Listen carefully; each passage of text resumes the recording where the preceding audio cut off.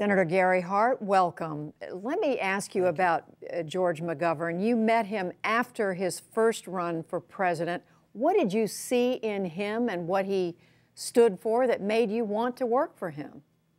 He was a man of strong convictions and um, very strong principles and great courage, not only on in his opposition to uh, the stalemate in Vietnam, but also to a, a lifelong commitment to nutrition and hunger here at home and around the world. And uh, he was also involved in reforming the Democratic Party after the chaos in Chicago, and I was powerfully drawn to that cause as well.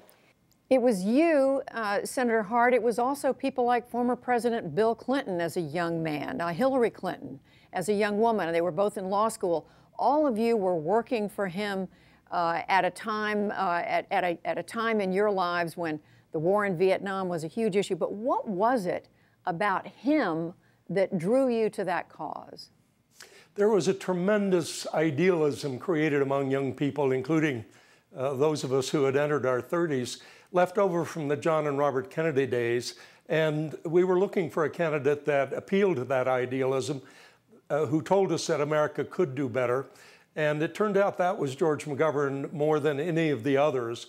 And I think we were all drawn to him not just because of opposition to Vietnam, but because of that idealistic message that the country could do better at home and around the world.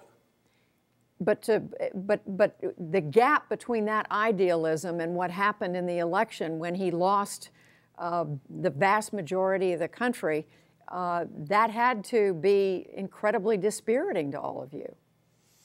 It really was, and I can't speak for anyone else. Um, I returned to Colorado um, in defeat, not only because of his defeat, but because of those assassinations that had preceded it. But then two years later, I was elected to the Senate. So, and several years after that, Bill Clinton uh, became governor and then president. So we, whatever it was that compelled us to support George McGovern, continued on after that. What do you think his legacy is?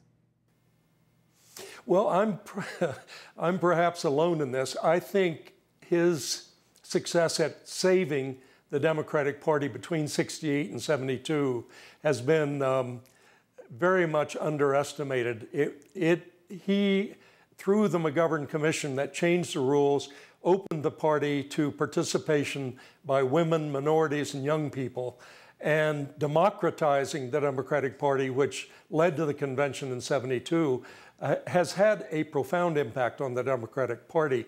Many critics said that he ruined the party. I think he saved the party.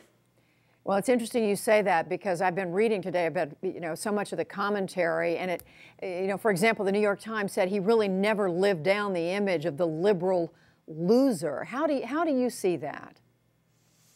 Well, I've written on what what constitutes winning and losing, and those in the political journalism profession tend to treat politics as a, uh, as a sport, sometimes a blood sport. Uh, if you're not a winner, you're a loser, and particularly if you lose 49 states. But if you add up what this man did with his life, uh, as compared to the man that was the winner in 72, uh, there's no comparison as to who the real winner is. He was uh, a believer in the Democratic Party until the end. The last book that he wrote, I guess, that came out late last year, he, he wrote about that. At one point, he wrote, We are the party that believes that we can't let the strong kick aside the weak. Is, is the party, the Democratic Party that he believed in, still the Democratic Party of today, do you think? And not in this sense. All we hear about today uh, from candidates of both parties is the middle class. When was the last time anyone talked about poverty in America? And we still have one in five children in poverty. We still have 20% of children with no health care at all. There is a serious problem of poverty in America. But uh, neither party, including my own, wants to talk about poor people anymore. It's all about the middle class. And I think the reason for that, frankly, and, and I spent a lot of my lifetime on this, is you cannot have a New Deal in great society without an expanding economy. So the first thing is to get uh, income into the hands of working people and middle income people. When that happens and when they have economic security, then they're much more willing to care for and, and pay for the concerns of the needy. Why do you think poverty, the, the, the needs of poor people, of children, and, and this is what many Democrats will say, does not get the attention today that it once did? The kind of thing that George McGovern argued for.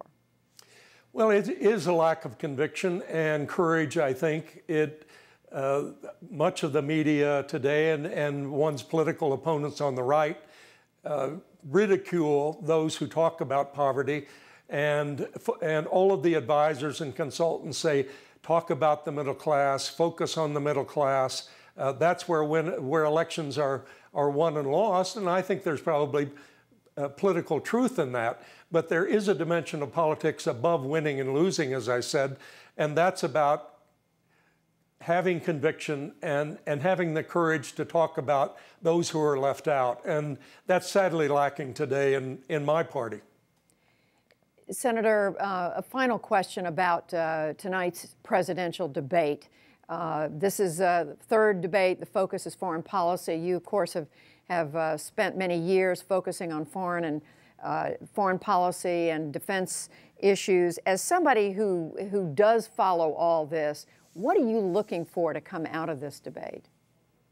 I think what we'll see is President Obama's breadth and depth of experience internationally that is uh, far beyond that of uh, Mr. Romney's and his running mate. He has uh, lived abroad. He grew up in part abroad. He has certainly spent the last four years dealing with the plethora of international problems, including some serious security problems. And that has to show through tonight in his response to the questions and separating himself from his opponent. Senator Gary Hart, we thank you for talking with us. It's my pleasure. Thank you.